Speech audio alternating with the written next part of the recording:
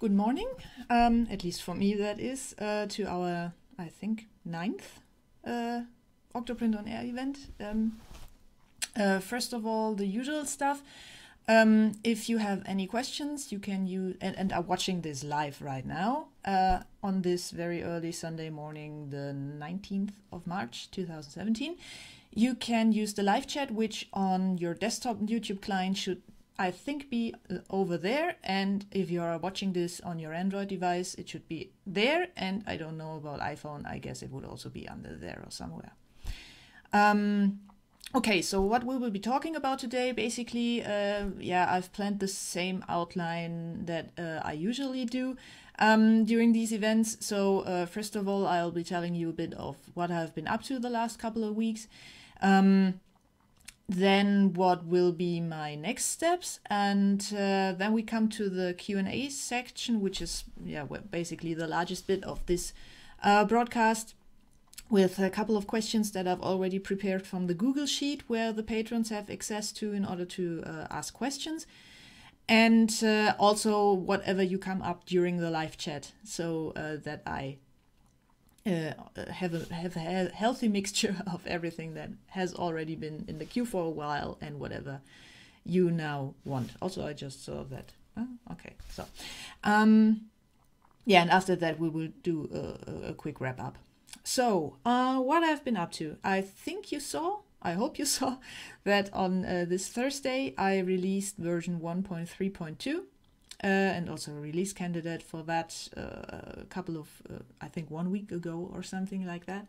Um, thing is, I did not get that much or at all feedback on the release candidate, so my problem always is I do not know if that is that uh, because you do not use those release candidates um, and I'm basically the only one testing them, or if it is because everything is fine with that thing and I should not worry and just release it outright. So um, I've been thinking about maybe um, creating a custom ticket on the issue tracker in the fu- for future release candidates uh, to to be basically a, a place where to put any kind of feedback, be it a thumbs up, all well, or um, or oh my god my printer is burning we need to open an, an, an issue for this and that.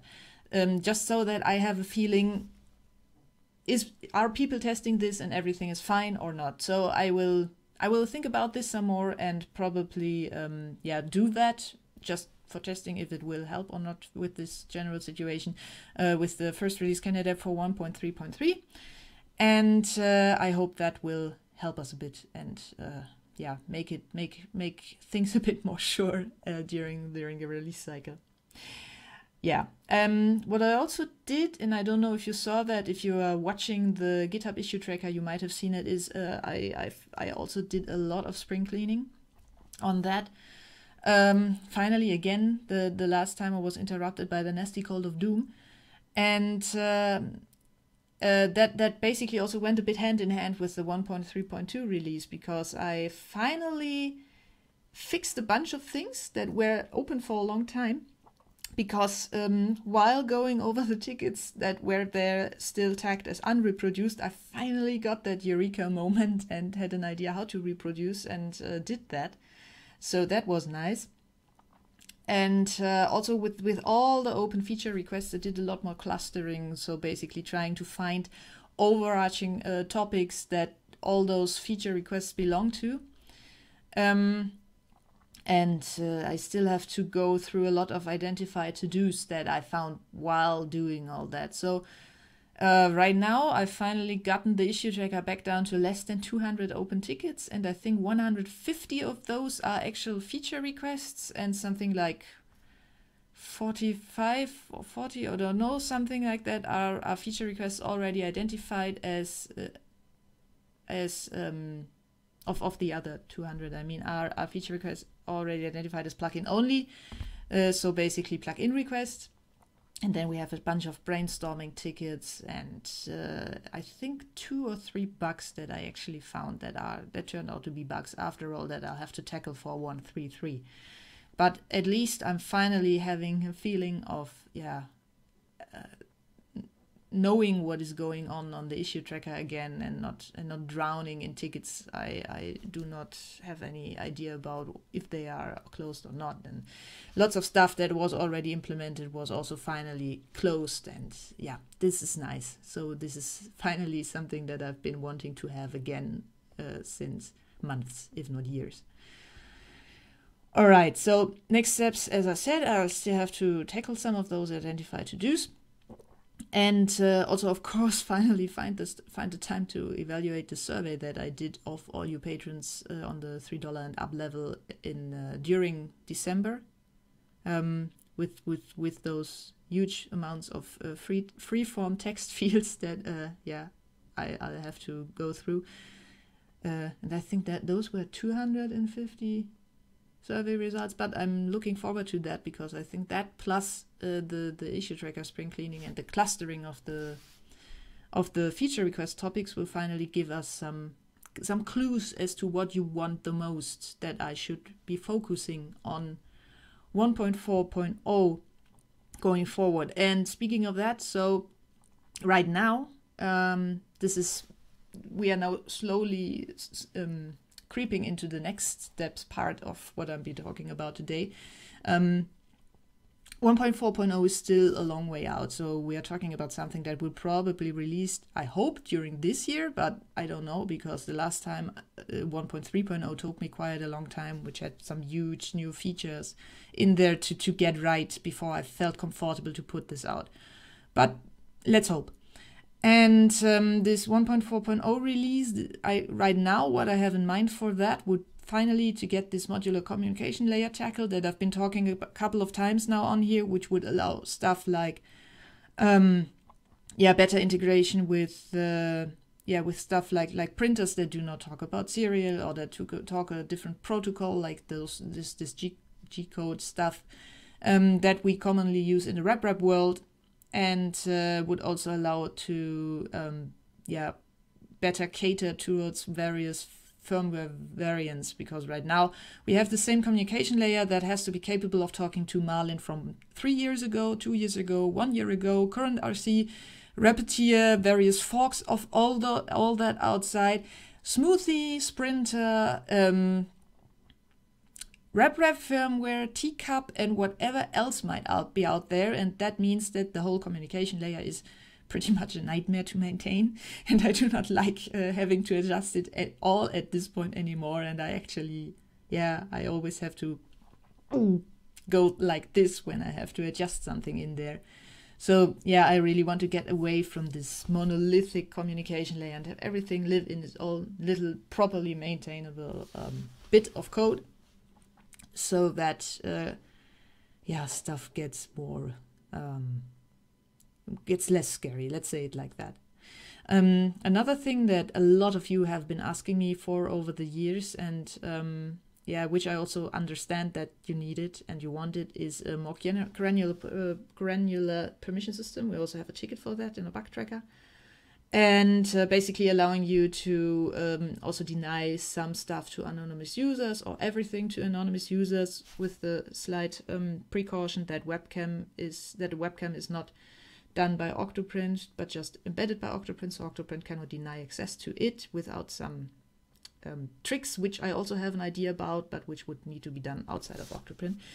Um, and um, community um, member and uh, collaborator Salandora, which you might know from a couple of uh, editor plugins, is uh, actually already working on something there because he needs, um, as, as far as I know, he's he also requires that stuff a bit, a bit for, for something at work. And so, yeah, he started working on that and we're talking about it and I've uh, reviewed a bunch of stuff. And the hope is that we definitely get this tackled sooner rather than later on the devel branch. Um, also something that has been biting me now repeatedly is um, yeah there are a bunch of settings now in in octoprint um, mostly on the serial tab that are rather printer specific and um, which would probably belong rather into in printer profiles so things like like um, yeah spe- firmware specific settings and stuff that that yeah might you, you might want to have changed depending on which of your printers if you have more than one you want to connect from octoprint. Also G-code scripts and the G-code commands that are uh, behind the the control buttons on um, on the con- uh, on the yeah on the control tab basically because some firmwares want one command for motors off some firmwares want another command for motors off. The current idea is to basically migrate all these settings into the printer profiles that already exist and make those printer profiles a bit more powerful and uh, probably also shareable in the process so that um, it's a bit easier for you guys if you have the same printer to just use the same settings. Maybe, as I mentioned last time, it would also be nice to have some kind of hub for printer profiles. Um, yeah, but but as usual for me, the problem here is a bit finding the time to do that. So maybe someone of you uh, will find up to that at a later point.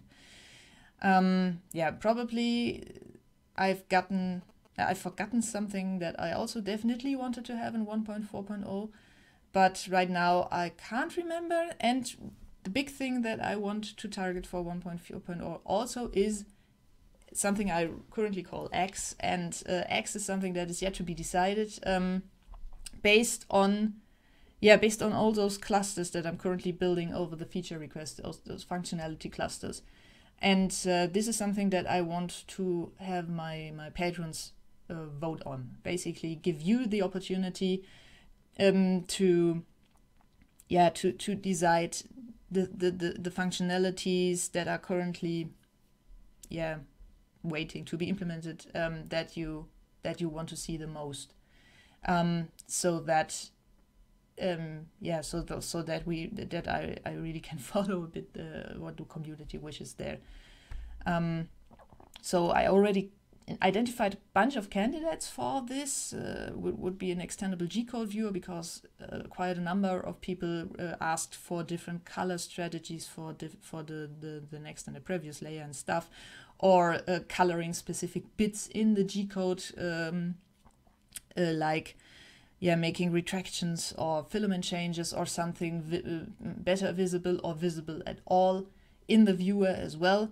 And right now this is not possible because this the, the commands that this thing supports are hard-coded, but the idea would be to, to basically at first open this up for plugins and then maybe also providing some more strategies out of the box.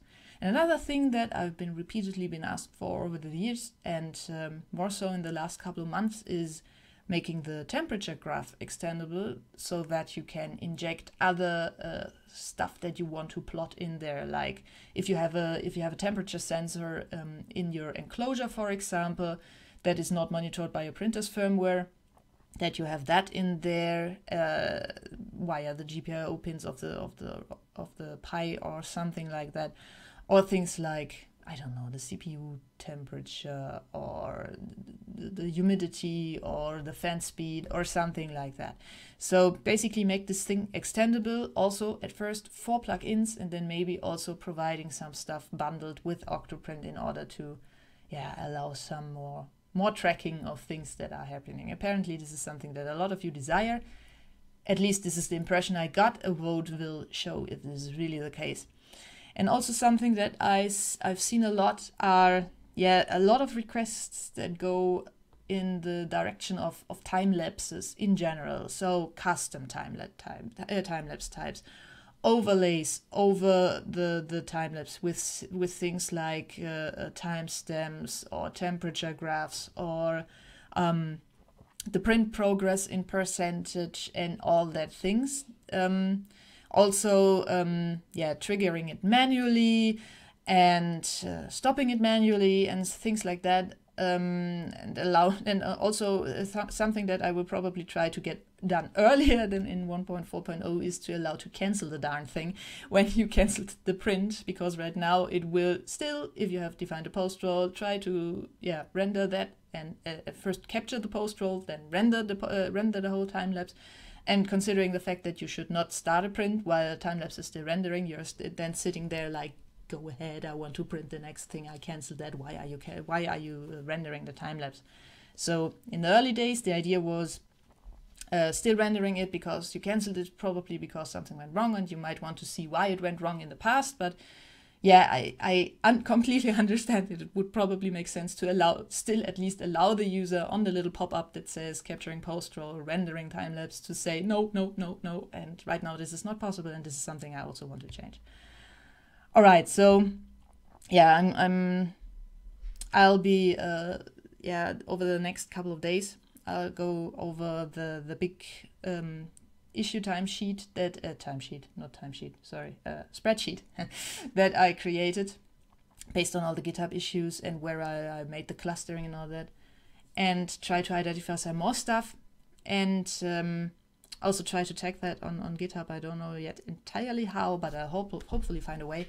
And then um, yeah, find some way to let you vote on that. Um, the problem is that I would rather like to have a vote which allows you to order the things like you like you uh, think they they should be tackled at the order basically at which you you'd like to think them tackled at. Um, um, depending on your prioritization instead of saying this is the most important or this is the most important because I think if, if I allow you to order individual items, it will yeah give you more control over actually giving the feedback of, of what is most important to you in, in, in descending order instead of just having to pick a favorite basically. The only problem is that right now I'm not aware of um, any good web tool that would allow me to do something like that uh, that I could then use to um, yeah to basically link to from from Patreon. So if you are aware of something like that, which basically allows me to define a bunch of options and allow everyone with the link to the vote form to order those options and summarize um, for me then something like yeah uh, this one is the most requested the second one is the is the one after that or that then please tell me so in the comments or on patreon or on twitter or yeah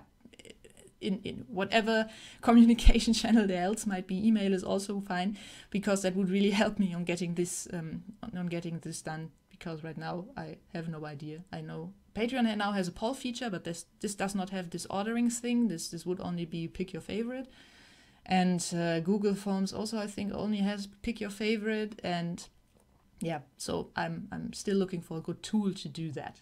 Help is welcome. Okay, so that would now have been basically the huge segment of what I have been up to merged with next steps. Um, which brings us to our Q&A section.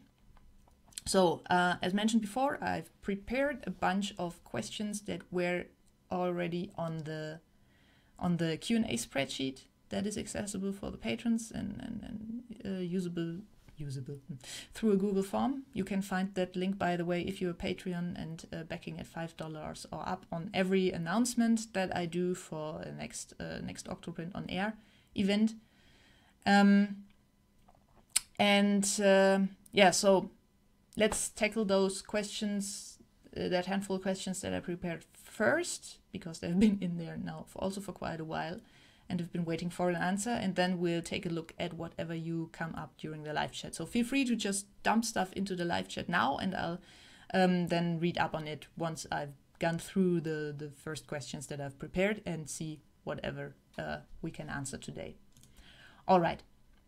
So first question is, uh, Darren asked, is there a way to control the power to the A8 AA, A8 Prusa i3 so the printer can be turned on or off with the stock power supply? So um, it's a bit tricky for me to fully answer that question because I have no idea if the stock power supply on that specific printer is controllable uh, via G code or not. Um, but um, if it is, uh, you should take a look at the, the PSU control plugin by Shawn Bruce, aka kantlivelong, um, which is available on the on the plugin repository. So you can just uh, either go to plugins.octoprint.org and find the installation instructions there. There's also a search. Um, or you can go in, in your Octoprint instance on settings um, plugin manager, get more, and there you will also be able to, to search through the repository and directly install stuff that is hosted on there. And um, uh, this uh, this this plugin is really cool because it not only allows you uh, to to it not only adds a little little on off button into your navigation bar up uh, in in that area, but it also um, yeah monitors basically the communication with the printer. And if you're not printing and it is detecting that the printer is idle, you can configure it so that it switches off the printer automatically, and then also later on switches on the printer automatically when you need it again. So this is quite nice, and um, as far as I know, um, yeah. So if, if you if your if your printer does not allow you to toggle its um, power supply via G code, usually I think that is M80, M81. I'm not entirely sure right now. Um, you could also wire up a relay to toggle the mains of the of the power supply. Um, this is something that I do not recommend if you have never before in your life um, worked with mains or if you are I mean, yeah, if you're if you're at least if you do not know what you're doing, because this stuff can be lethal, and if you're doing something wrong, you might wire up basically a death trap. So, yeah, if you have no idea about how mains uh, power uh, lines work and uh, feel at least a bit, yeah, like huh, when someone tells you to to wire them up, better do not do that, or at least find a friend or someone who is comfortable with that, or even better, an electrician, and ask them to do it. With that out of the out of the way, um, in the the PSU control, as far as I know, also allows you to um, not only uh, control the, the power supply of your printer via G code, but also via relay. So if you have it running on a Raspberry Pi and uh, attach the relay to the Raspberry Pi's GPIO, you can also use the PSU control plugin to have it toggle uh, um, a GPIO pin in order to switch the, the relay. So this is quite nice. And um, about this whole relay and, and, and PSU control, uh, uh, power supply um, uh, wiring stuff, there is also an entry on the wiki, on the Octoprint wiki, on GitHub, um, with a, a diagram and everything. But again, only do that if you know what you're doing. Um, an alternative, alternative option, if your printer is not toggleable via G code, would be yeah, there are a bunch of uh, Wi-Fi controllable plugs out there that you could. I think something like Wemo is quite available from from Belkin. I think uh, in the in the US and here in Germany we also have some stuffs available from AVM and and and um, yeah, and also some Chinese things. Although I do not know. Um, how much you want to trust that uh, that stuff, but that would also be an option that you just wire up um, well, basically use use one of these plugs, plug your printer's PSU in there, and then control that control that Wi-Fi uh, enabled, um, yeah, power socket by basically uh, from Octoprint, for example, via the system menu. I, I think the PSU control plugin does not currently allow stuff like that, e.g. by by by executing a system command. Um, but I'm not sure. I might be mistaken, and now it it, it uh, suddenly does that. So yeah, basically those are the options. Um, either use G code and the PSU control plugin, or use a relay and the PSU control plugin, or do something with the system menu in Octoprint, for which there is also yeah, which is by by the way a, a core feature of Octoprint, but which you cannot edit from Octoprint itself, but Salandora, mentioned before, wrote an editor for that that you as a as a plugin that you can install from the um, from the repository, and that should make it, I hope, quite easy. At least I think he did. Pretty sure he did. I might be mistaken, but I think he did.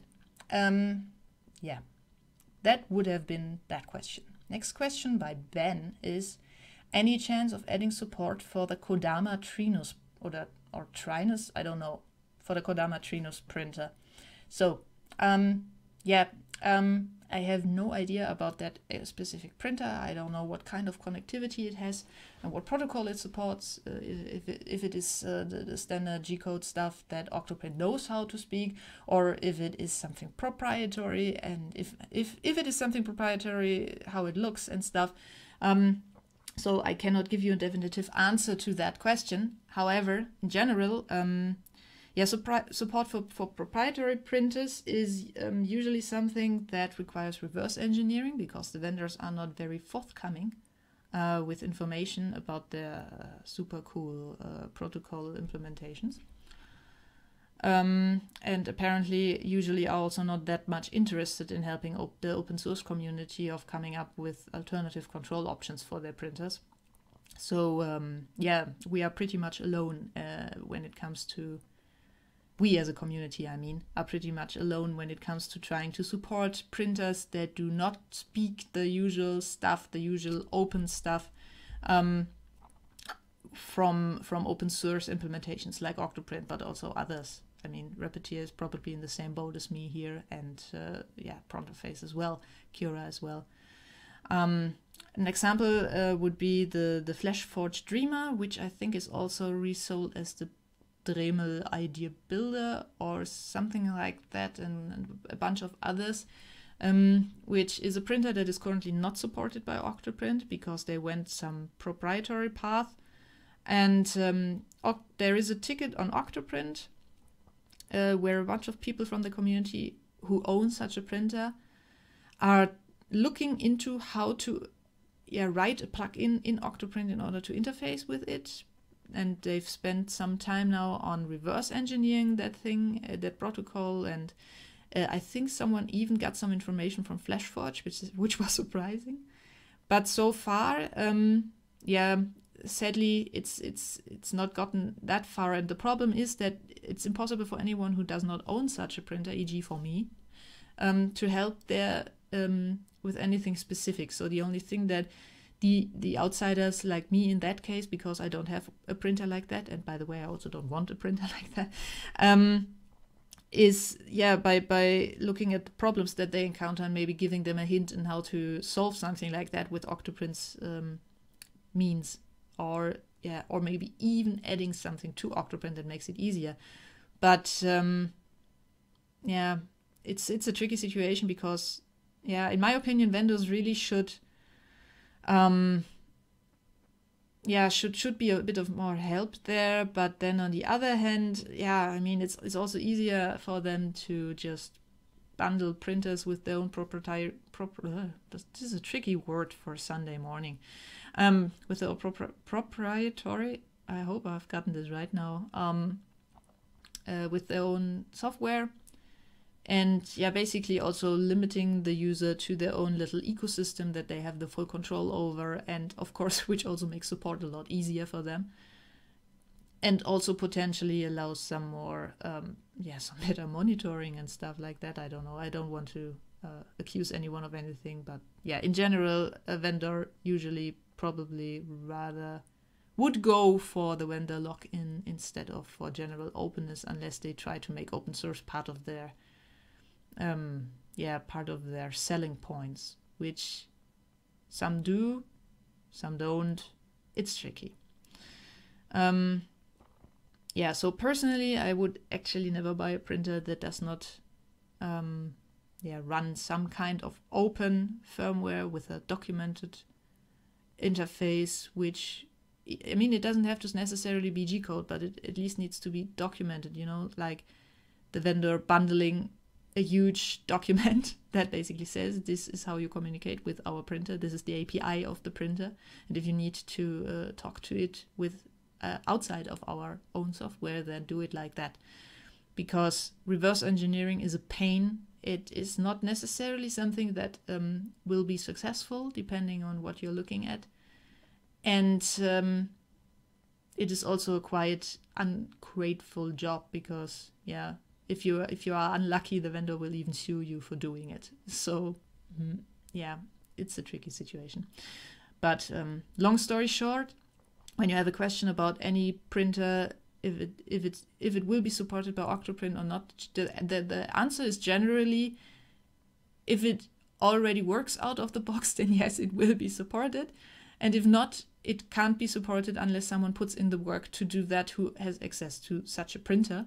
And uh, I'm happy to accommodate uh, uh, efforts like that as, uh, yeah, and, and, um, what I mentioned before that that modular communication layer that I want to finally have in 1.4.0 after I've been working so long on and off again on it is um, yeah that would also make something like this easier because then you if you have a printer that requires you to talk to it via TCP with some binary protocol. Currently, this would you could maybe make it so that it works, but right now it would be a horrible pain to do that with this monolithic communication layer. But once this, this more modular version would be in place, this would be a case of writing a plugin that defines the protocol and defines the transport, and boom, yeah, stuff would be done.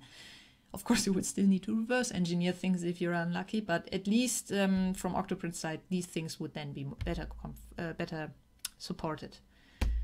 I'm stumbling a bit over my tongue again this morning. I'm sorry. All right. Okay, so that was that question. Um, the next one um, is one by John, and he asks, uh, "What's the best or preferred way to install an Octoprint release to package it as part of a printer software?" I've had bizarre version numbers show up when cloning the Git tag and doing a Python install from that. Yeah, I'm. I think I have an idea why that happened and why you had bizarre version numbers show up because um, Octoprint does a bit of a ma of magic there. um, uh, because um, what Octoprint does is it uses a tool called Versioneer for generating its version number during uh, setup, uh, during installation, and um, for that it uses uh, the checked out branch name and the commit it is on. So it is very Git centric, at least at the moment. Um, and uh, for example, on the master branch, it will use the latest Git tag or the distance from that, if there is any distance from that. And for other branches, there are some other rules defined. And um, yeah, if you've never, um, if you if you haven't found that so far, uh, let me quickly see if I can switch over to my other screen here. I hope you are seeing that now. Um, in uh, Octoprint's contributing MD file, there is, uh, yeah, if you've never seen that before, there's also something about how you should file bug reports, um, uh, how you do pull requests, and also what do the branches mean and how Octoprint is versioned. And those two are probably um, the things that are of interest to you. So there's first of all uh, explained what the version numbers for the, the master and the maintenance and the devel branch and the RC maintenance and RC devel branch will usually look like, and also what the other branch prefixes mean. And um, here is also the section that explains that Octoprint is using Versioneer, that it will you uh, always try to generate a PEP 440. This is a Python um, I'm not sure if I could could should call it a standard, but let's say that's a, a Python uh, format standard for version numbers, so that it will al always um, yeah produce a PEP 440 generated uh, compliant version number, and uh, also a bit how that version number will be generated. So that is if a git tag is used, it will use that. If not, it will use the last um, git tag or the the the, the anchor version and yeah, basically add to that the number of commits since then. There's some magic going on there. Um, and um, yeah, so th there's a bunch of, of stuff going on there that is to ensure you that whatever version of Octoprint you check out, you get the version number that properly represents it. So, um, and uh, part of that is also, which which is here, that any any any checkout that contains uncommitted changes um, will be marked as dot .dirty, and I would assume this might be something that you ran into. Um, and I'm now going to switch back a second. Okay.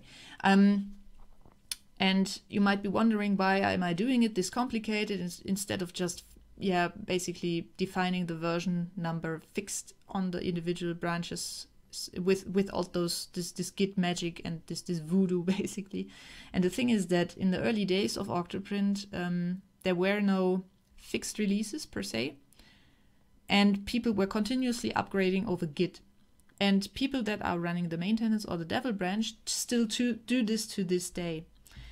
And what I noticed back then was that, um, first of all, it was nearly impossible trying to get people to tell me which exact version they were on, because 1.1.0, for example, did not help much because it could be 1.1.0 exactly or 1.1.0 with 100 commits in the future or something. And I also ran into a lot of issues that people were having that had actually modified their Octoprint sources. So it was not actual Octoprint anymore, or they they had fiddled around with the UI in some way and broke things in the process.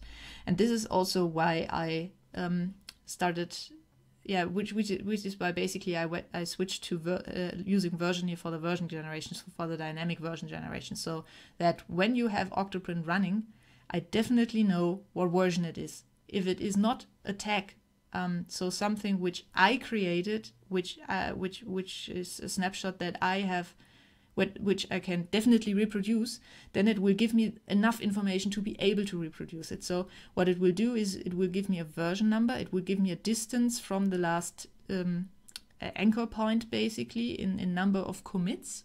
Um, and what it will also do is it will give me the exact commit hash that you are running on. And this is crucial in order to be able to reproduce your exact environment. And and this is also the reason why I always in in, in bug tickets in bug tickets yeah in, in issue tickets um, ask for the the version number that Octoprint is displaying in the lower left corner. Because this is yeah this is this is a version number that helps me allows me to instantly see did you modify the sources? Uh, what branch are you on? What version are you on um, what base version, uh, what exact commit if you're not on some on some tag, uh, which exact commit are you running? So if you are em- encountering some issue, I can check out this exact version and try to reproduce it. And this is uh, yeah, this is gold, pure gold. All right, um, and uh, the problem with this approach is that um, it requires you to have a solid Git history when you do the checkout, and it also requires you to stick to branches when you check out. So, for example, if you check out a tag directly, stuff should work, but it might not. So what I usually do is when I when I want when I would like to build, and this is now a bit this this now gets very very technical, so very build specific. So I hope I do not uh, bore you to death, uh, whoever is watching that and not interested in this in these bits. But um, just to help John here is um, when you want to create a source distribution from a fresh checkout um, by Python setup py-sdist, for example.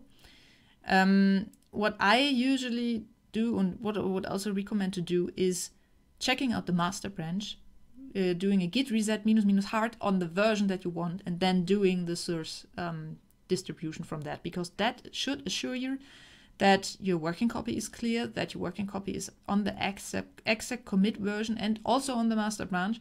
And that way you should hopefully get the version number generated in the way that you want. Again, I think this should actually also work if you have a tag checked out due to some custom ruling that I did in uh, how Versioneer works there. And Versioneer in Octoprint is actually a customized version of Versioneer uh, that I had to adjust in order to support this branch-based uh, handling of, of versions. Um, but I have to admit I haven't tested uh, pure tag checkouts for a while, so I'm not fully sure on there. And also, um, as I said, if you modify any of the files that Octoprint tracks on Git, um, so that it will detect that your copy is not clean anymore, so that there are unmodified files in it. Then it will also generate that dot dirty um, um, uh, suffix for the version. And if you want to avoid that, you also might have to adjust .git ignore. And if you do, please send me a pull request so I can uh, have that in in Octoprint in general.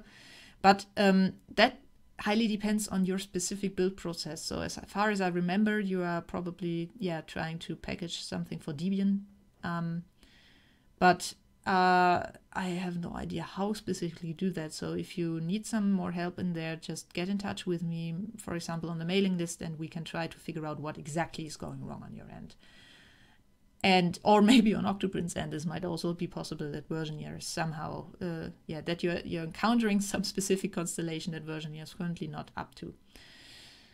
All right, uh, that would have been that. And um, another question again by John um, on on Kamikaze, the Replicape's embedded Linux. We're experiencing a significant move buffer on the slow and complex models on Delta printers. One of the testers has followed the thread between you and Knobhead on GitHub. we found for Redeem, the firmware software, we had to make C bits of code in the path planner for efficiency. Could this be an option for Octoprint to resolve serial communication performance? How do you feel about that approach? So I think it was last Octoprint on air or the one before, the one episode before, where we already talked a bit about that. Um, and um, yeah, basically experimenting with extracting bits of the communication layer in Octoprint out into different processes or even C code. And um, for performance reasons. And the, the thing with that is, as I mentioned back there, that would be really interesting to experiment with and would probably also do a lot in with regards to performance because um, I noticed that Python's PySerial that Octoprint uses sadly indeed is a little bit of a bottleneck there for whatever reason. So I did a bunch of um, performance measurements a while back, and um, even when all I did was directly just send stuff over a Python uh, over, a serial line from Python, I always had a, a, bit of delay there compared to a C program that I also wrote to do the same thing. So there somewhere there there we get a loss of a couple of milliseconds, and there are also a bunch of things that Octoprint does. They are computational intensive. Funnily enough, something like calculating the line number and the checksum of the line it needs to send over is something that I identified as a hotspot in that point in that in the processing. Um, that might might or might not uh, be extractable into C. But the problem is that, as I mentioned the last time, um, currently the communication layer allows you to, or allows plugins to hook into it in order to manipulate the commands that go out to the printer before they are sent. Um, and I think, uh, for example, the the um, yeah some plugins might heavily make use of that, and I do not know if they do. And I also do not know which plugins. And the problem is that I have to guarantee backwards compatibility. So if I would do something like that, it would be something that I would start playing with after I have this uh, modular communication um, layer in place, because this would also allow things like that more easily. Basically, having the, the, the old Python based communication layer in place and uh, which which might have its its downside because um, yeah, there is an upper limit of performance that you can reach with with uh, with Python um, against a serial line, and also have some yeah some some some some fast uh, ver uh, faster version for for the extreme cases next to it with the um, with the downside that this this implementation then would not allow plugins to in uh, uh hook into it.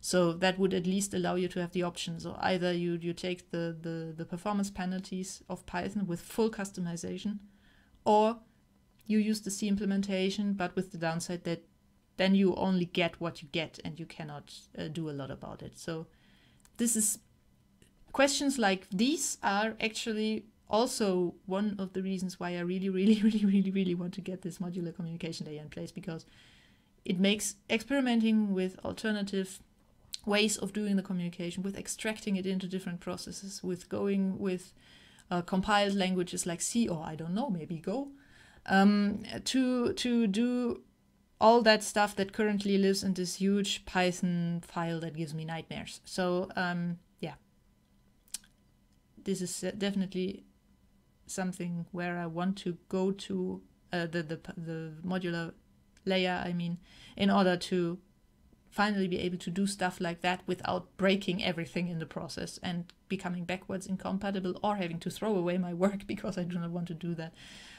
So yeah, it's it's uh, something I want to be able to do in the future. But first, we have to to get rid of a huge um, construction site in order to be able to do that. Okay. Um, then another question, the next question by Paul, and Paul asked, I was wondering how you run your tests. Do you just uh, do you just use a real printer, or is there some kind of printer emulation that can be used for testing functionality of Octoprint? A very good question, um, uh, and uh, actually there is. So the, I don't know if you've ever looked into your um, plugin uh, manager a bit more closely, but there's a bundled plugin in there called Virtual Printer, which comes with Octoprint and which also is enabled by default. And then you might have wondered if you saw that uh, this is enabled, but I have no idea how to use it. and uh, I can't connect to it. And the, the thing is that this plugin depends on a on a development flag uh, to be set in Octoprint's config YAML to actually inject a, a virtual port, which is actually called virtual, uh, into Octoprint's um, serial comport um, serial port drop-down list. So if you set uh, devel.virtualprinter.enabled to true in config YAML, um, and then restart and refresh your uh, your your your UI, then you will see a new port has shown up there, and that will be called virtual all in uppercase, and it takes any baud rate because it's not actually a serial port. And um, yeah, then you can connect to it just like it was a printer, and it will simulate um, by default, it will simulate something that looks very similar to Marlin. Uh, you can also use a long list of, uh, of um, also devel.virtualprinter uh, config settings in the config YAML in order to modify its behavior so that it behaves more like a smoothie or more like a repetier or more like a RepRap firmware. And um, yeah, this is what I uh, use a lot, uh, actually almost exclusively during the actual development um, for for development testing because otherwise I I would probably drown in in, in filament spools in empty ones and it would be ex expensive as hell. um, so this is what I, I use a lot, and it also allows me to yeah develop on the go and such because I cannot lug a printer around every everywhere I go and code. And um, this this virtual printer um, also allows me to simulate stuff that is would be horribly difficult to simulate or, or to trigger um, um, intentionally with a regular printer. So things like an actual communication error, so some mangled line that went to the printer, which the printer then re requests a resend for. And with this virtual printer, I can do that. Um, let me maybe quickly take a look because right now I'm not entirely sure if all those settings are, or at least most of the settings are documented. But yeah, I can quickly show you that. Um, so if you go to docs.octoprint.org and go to config YAML and there to development settings, then you will see first Devel Cache, Devel Style Sheet, and uh, Devel Web Assets, and here also Devel Virtual Printer. And this is the enabled flag that you need to set to true in order to have this, this virtual port injected. Then you can do things like if it sends an OK after resend, and if it enforces the use of checksums, which is something that Repetier, for example, does. If it sends the line number back with the OK, how many extruders it is supposed to simulate, if it should include the current tool in the temperature, and all of that. Also simulated movement speeds, if it has a heated bed or not, how it reports the target temperature, the resends, uh, in which, which way does it do them, how it reports the temperature reporting. There is a lot of stuff in there. Also simulated buffer sizes and all that. So, and I think this list is even incomplete because there is even more. And you also have a, which is not documented there, you also have a bunch of debug um, commands that you can send to it to have it immediately drop the line or swallow the next command and not reply to OK with it. So I would suggest to maybe take a look into the sources of this um, of this specific plugin, uh, which reside in Octoprint in source Octoprint plugins virtual printer. Um, this is actually still a bit of code that I inherited from back, back, back in the in, in the early days of Octoprint when it was still a fork of Cura, um, but it has since then been modified that much that I think no one from the Cura project team would still recognize it as such. Um, and I might even, yeah, I, I constantly build up on that thing because it is it is one of my crucial development tools for Octoprint actually. So yeah, sorry it's not that well documented yet, um, maybe I should look into this when I find the time. Or maybe someone of you who uh, is discovering its its powerfulness wants to. Um, but yeah, uh, this is what I use. This is also what I would suggest anyone who sets up a local installation of Octoprint to develop plugins to use because it makes it incredibly easy um, to just develop on the go and then this is something you definitely have to do though. Test with a real printer once you have everything set up at first and think that it should work like that. Because when you then test with a real printer, you usually also find some things. And uh, these are the things that I usually then uh, merge back into the virtual printer as peculiar um, behaviors so that I can also test against those. And now I quickly have to, sorry, uh, had to cough, sorry. Uh, yeah, virtual printer. Okay, so uh, those were the questions that for now I had prepared. And I see we are also, yeah, quite pros progress in the time. Um, taking a look, a quick look into the live chat, I do not see any questions from you so far. But a suggestion, suggestion to maybe look into SurveyMonkey for my earlier question. Thank you. I will take a look at that. Um, so, yeah, um, I'll give you some more time, those of you who are watching this live, to maybe still come up with something if you have any questions to ask me. Now, uh, and in the meantime, I will tackle another one from the sheet, which by the way is also now fairly answered through. We will need to create a little bit more of a backlog of questions or we'll run dry the next couple of uh, hangouts.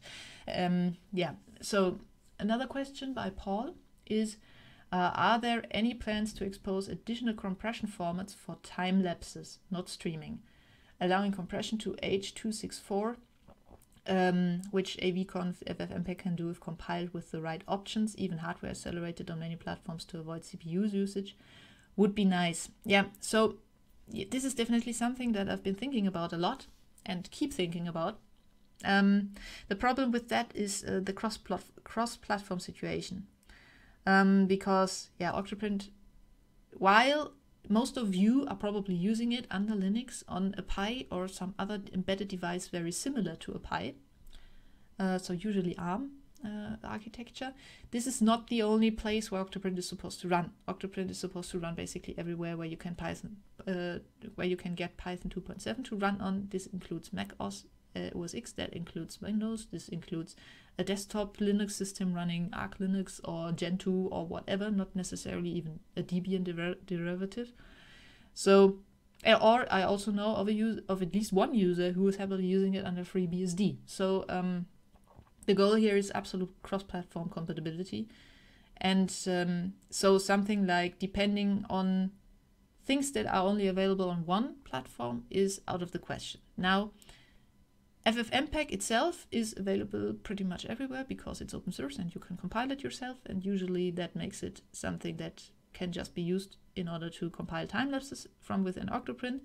The problem is that the yeah that something like H264 the last time I checked um, this might have changed in the meantime but the last time I checked with the FFmpeg version that you get for example on a Raspberry Pi if you use that it will not utilize hardware acceleration. So my very first experiment I did with this, which is I think now two or three years ago, the time runs, um, was uh, yeah quite dis- quite uh, disappointing because I just changed the, the, the, parameters within Octoprint to use FFmpeg, not rendering to M- MPEG2, which is a common denominator which usually works, but instead uh, render to H.264.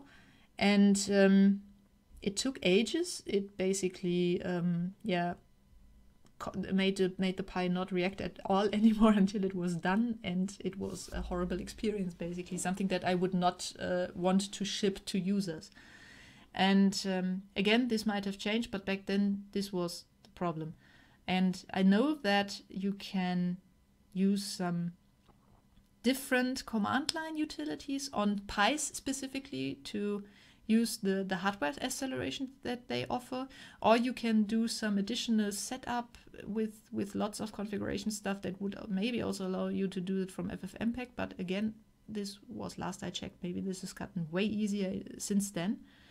Um, but it is additional setup. Um, so the current idea from my side would be like yeah would be to to allow the specification of the ffmpeg parameters in the in the configuration. So right now you only have access to a couple, a couple of check boxes which um, influence some of the flags that are used with this command line tool. But it would maybe be nice to open up um, yeah the, the whole command so that you can not only specify the path to the executable, but also yeah modify the full command line that is used Uh, the tricky thing about that is that we use in Octoprint in order to rotate the image of or um, mirror the image if necessarily if necessary, um, or also to inject the watermark or not inject the watermark. Um, we I use a dynamic filter chain, so the the commands are built um, depending on, on on some of the settings that you do, and um, I'm not entirely sure yet how best to mirror that in an editable command line. So yeah, I'll, I'll have to think about a bit about that. Um, I know that some people are also uh, using a specific uh, some custom some custom shell scripts that basically they use instead of ffmpeg so they specify the path to their shell script instead of the path to ffmpeg and just evaluate the commands that come in and um, rewrite them in order to use uh, yeah to, to generate um, mp4 so h264 files instead of mp uh, mpeg2 and octoprint even was adjusted i think in 1.2.15 16 not sure um, to not only show mpeg files in the time lapse time lapse list but also mp4 files because uh, some people were there. I'll try to remember to drop a link to that to the to the um, ticket where someone posted their script to do that. So maybe that might help some of you until I come up with a better idea. Um, and if any one of you has recently experimented with FFmpeg on a Pi generating MP4 files without um, yeah, having to do any any things that could not be chipped with Octopi. So if you need to, I don't know, um, re request a license or something like that first from from Raspberry Raspberry Pi uh, from the Raspberry Pi Foundation. I know this is not the case for H264, but I know this is, uh, for example, the case for some other codec that I forgot now.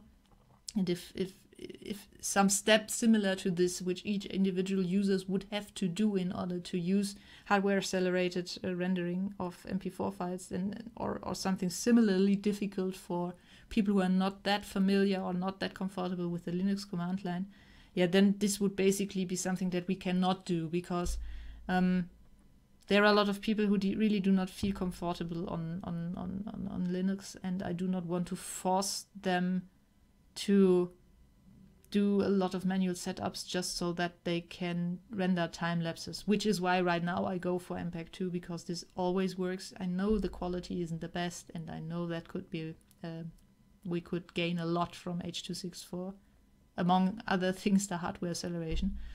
Um, and uh, yeah, but but right now I haven't yet had the time to experiment more recently with these things. If cha- if things changed, um, if you have any uh, if you have any um, experiences in that regard, please get in contact with me because that would really help me. Um, yeah, same goes also by the way for alternatives to something like MJPEG Streamer that would allow us to embed an H264 stream directly in Octoprint instead of the MJPEG um, image that is now on the control tab have the, have a real video tag in there. And but but still would allow with the same stream setup to fetch individual images for Octoprint in order to to do the time lapses because this is also something that I've experimented briefly with with a GStreamer pipeline, but so far I haven't really gotten anywhere because I never find the time to really commit to play with this. So this is stuff where yeah, if if you if you have ideas or something like that, get in touch with me. Maybe open a brainstorming ticket on the GitHub issue tracker and let's talk about things. Okay, so I think this will probably be the last question that I do today from the prepared ones because we are already at around an hour uh, of, of on, on, on air time. And I don't want to make this an endless, uh, endless recording later on and also not an endless stream. And I also do not see any questions in the live chat. So apparently you are currently you currently feel fully informed and uh, do not have any big question marks over your heads anymore. And I would say in that case, um, for today we just wrap this up. Um, so The next Hangout um, or the next broadcast, I still call it Hangout because we started with uh, Google Hangouts, um, will uh, be more targeted towards the Western Hemisphere again. So later afternoon for me, morning or midday for uh, yeah US and, and South America and everything over there, and uh, late night for for Australia, Singapore, uh, New Zealand, and all that. Um, after that, I'll do another vote on Patreon so that uh, every one of you can weigh in on what would what time slots uh, would best be best for you and uh, after that, I would usually say we we will do it again like today, so very early my time. Uh, um, so that uh, yeah, those of you in the Eastern Hemisphere get a chance to also attend. The problem is that yeah, I have to admit the attendance so far in this time slot has usually been pretty pretty bad. So I'm not sure yet if yeah, if you even have an have a real interest here. So maybe I will do a vote about that on Patreon because yeah if if all of us that are usually up at this time are yeah out of our usual time zone by that and nobody from or, or next to nobody from the eastern hemisphere is watching then um yeah maybe i will just switch to vote western vote western because yeah i have to admit this having to get up on a sunday uh, at at 6:30 in order to prepare for a live stream is uh, yeah a quite horrible experience. I do not know if you see my my my my eyes being a bit smaller than usual, but they certainly feel like it. Anyhow, yeah, we'll decide that on Patreon, and um, yeah, I will probably put the recording of uh, this one up. Yeah, sometime during next week. I'm not entirely sure yet when. Um, I first have to cut it a bit. Uh, yeah, basically remove the first part where it just says starting uh, right away and um, I also need to uh, create this little, uh, yeah, um, table of contents that I usually do for the for the uh, Octoprint on Air things in, in the in the description on YouTube, where you can quickly click on the individual times times time um, stamps if if something specific interests interests you, you, so you don't have to go through everything. Sorry, it's the it's the hour. All right, yeah. But uh, for now, I think that's it. There are still no questions, so I guess you're still happy, and uh, I hope you have a pleasant day or a pleasant rest of the day, depending on where you are. And um, yeah, happy printing, I guess, and see you the next time, I hope. And I hope it was interesting for you and uh, maybe also a bit entertaining. And yeah, that would be that then, I think. So, bye.